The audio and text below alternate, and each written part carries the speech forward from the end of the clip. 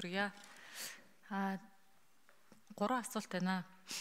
За байнгын ашиглалтанд баяжуулах үйлдвэрийг 2025 оны 3 сард авахар төлөвлөж байгааг харлаа. Энээс өмнө нь ашиглалтанд оруулах тийм боломж байна уу? Яг ямар ямар асуудлуудыг шийдвэрлэж байж 3 сард оруулахар төлөвлөж байгаа вэ? Энэ дээр нь ямар нэгэн дэмжлэг бидний зүгээс байгаа хэсэгтэр хариулаад өгөөрэй. Тэгээ ер нь бол өнгөрсөн одоо 4 жилд хийгдсэн хамгийн том ажил бол нэлээ эрт баригдчих байсан нүүрс баяжуулах үйлдвэр маань ингээ биел бүрэн бүтцээ болоод биелэлээ болоод ингээ ашиглалтанд орох гэж байгаа явдал гэж үзэж байгаа. Тэгээ таны сая танилцуулсан слайдн дээр ч тэр нэм үртэг шингээгээд экспортлж чадсанаар Монгол улс эргээд тэрийгээ дагаад илүү их тийм ашиг шимийг нь хүртэх болцоонд бүрдэж байгаа учраас нүүрсний баяжуулах үйлдвэрээ бүрэн хүчин чадлаар нь аль болох түргэн л оруулчвал биднэрт л илүү хэрэгтэй. За усны асуудал хоёрдугаар асуулт нь бол усны асуудалтай холбоотой. Тэг яг хуу 56.7 литр секунд усны хэрэглээг загийн усны хоолоогоос татаад ингээд 96.6%-ийн дахин эргэлдүүлээд тэг ямар ч гэсэн усныхаа усаа дахин ашигласан байдлаар өндөр хувьтайгаар ашиглах болцоо бүрдсэн байна. Ер нь бол газрын доорх усны хайгуул дээр Эрдэнэс таван толгоогоос ажил хийгдсэн үү? цаашд ер нь хайгуул хийх төлөвлөгөө байна уу? Одоо цагаан цавын усны 220 литр секундын бас ус татгаар сүүлийн слайдад гарлаа шүү дээ тий. Дараа хийх байгаа дөрвөн ажил гээд тэгээд тэрэн дээр бас яг ойроосоо тийм их усүр олж болохоор байна уу? Хайгуулдаа бас уулын мөнгө зарцуулвал хэрэгтэй хаа. Би урднаас алтан баг нь инженертэй ярьж исэн санагдаад байна. Тэгээд нэг тодорхой яг үнийн дүнгээ хийж исэн гэсэн хариулт авсан. Тэгээ тэрэн дээр одоо энэ жил өнгөрсөн жил нэлээд устаа жил байсан учраас бас дахиад нэг мөнгө зараад хайгаад үзүүл яадаг юм бол доошоо нэвчилт явагдсан байх болов уу гэсэн юм бодолтой сууж ила. За гурав дахь асуулт нь болохоор мөнх жаргал захирал ороод ирчихсэн байгаа учраас а энийг заавал асуухгүй э, бол болдоггүй. Энэ болохоор Эрдэнэс 5 толгойн төв офис Улаанбаатар хотод байгаад идэг. Тэгээ энэ дээр та хэд маань одоо яг өмнө зохицтой рүү нүүх дээр ямар нэг арга хэмжээ авч авч байна уу? Засгаар тогтоолууд ч байна уу, тэмдэглэлч байна уу гарч исэн байх хэвээр.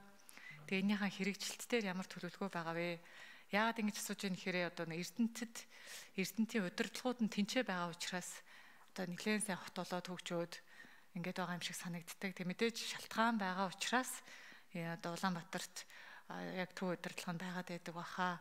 Гэхдээ яг тийшээгээ нөгөөд очих юм бол илүү үр дүнтэй байх болов засаглалын хувьд гэж бодогдох юм. Тэгэхээр мөнх чаргал захирал энэ дээр хариулаад өгөөрэй.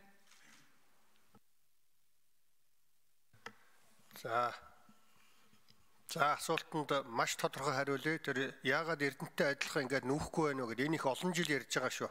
За ингээд оюн гишүүний асуултанд хариулт өгье. 7 номер. 7 номерын микрофоныг өгье. Та нар гараа өргөөд өргөөд хариулаарай. За. За. Эрхэм гишүүдтэй энэ өдрийн мэндийг хүргье.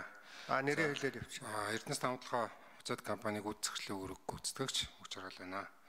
За, уян гишүүний асуусан асуултанд хариулъя. За, 3 дугаар асуултаас нь эхлээд хариулъя.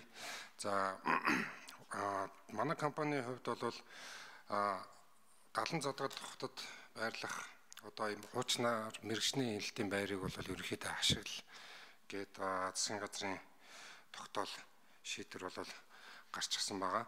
За ер нь бол 2025 онд бол үе шаттайгаар компани одоо төв офисыг нүүлгэхээр одоо компанийн хувьд одоо төсөвтөө суулгаад төлөвлөд ажиллаж байгаа. За энэ дээр гол асуудал нь болохоор одоо түрүүн танилцуулган дээр гарч ин шин суурьшлийн бүс одоо Эрдэнэс санхүүгийн компани 100% өөрийн санхүүжилтээр санхүүжүүлж одоо байгуулахаар одоо зураг төсөл бүх юм гаргаад одоо аймгийн засаг дарагт өгчихсэн байгаа. За энэ дээр одоо гол асуудал нь бол тухайн ажил юуны Улаанбаатар хотод ажиллаж амьдарч байгаа ажилтнуудын одоо орон байр одоо гэр бүлийн одоо нөгөө сургууль цэцэрлэг асуудлуудыг бас шийдэхгүйгээр маш их хэмжээний зардал гарахаар байгаа. Тэгэхээр бид нар үе шаттайгаар 25 оноос эхлээд хэрэгжүүлэхээр төлөвлөж байгаа. Ер нь бол хөрөнгө оруулалт бас шинэ суурьслын бүсийн асуудал нь өөрөө бас хөрөнгө оруулалт ихтэй учраас бас аймгаас нийлээд бас хамтрын ажлын хэсэг бид нар байгуулчихсан байгаа.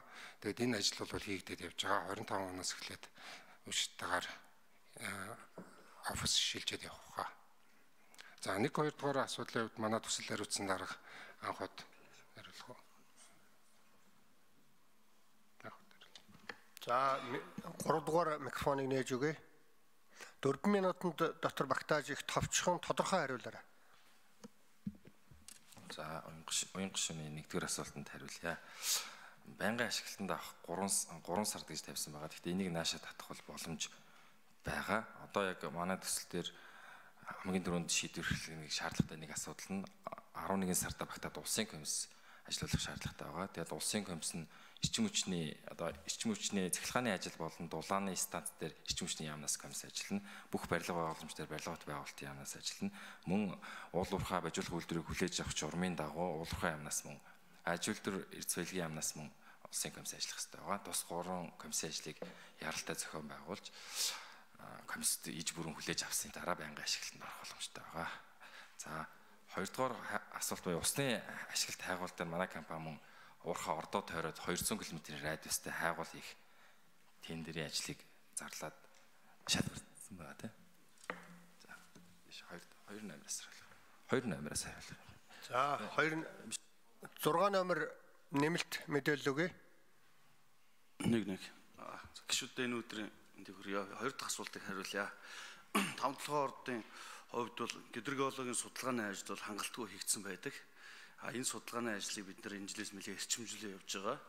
А ингэхдээ уурхаан бүсийн 1 100 км орчимд үнэхээр энэ хэсгээр усны асуудлууд байгаа мó ус байгаагүй эцэслэн тогтоосны дараа бид нар их түнтэй гадагын усны төсөл гэх төслүүдэд хэрэглэхүү эсвэл энэ гүний уснуудыг хэмжээгээр нөөц байна уу гэдгийг судлахаар төлөвлөө ажиллаж байна. А энэ жилийн хувьд бол говийн бүсэд маш их хурд тундастай байсан. Уурхай иргэн тойронд бид нар хоёр хөв цөөрөн байгуулсан. Энд нийтдээ иргэн тойронд 4.5 сая метр куб ус ус тогтсон.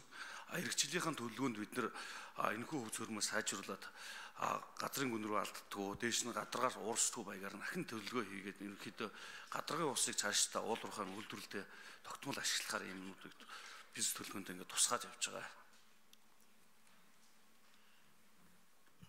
За асуулт э, уян гişүү их л тодорхой асуултууд асууж байсан. За өөр нэмэлт асуулт хариулт байна уу? Уян гişүү хангалттай гэж үзэж байна.